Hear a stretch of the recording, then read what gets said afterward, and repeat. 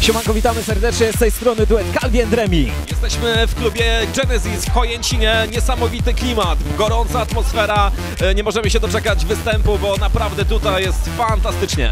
Zresztą, co my mamy opowiadać? Sami zobaczcie, co się dzieje na parkiecie, a dopiero występ przed nami.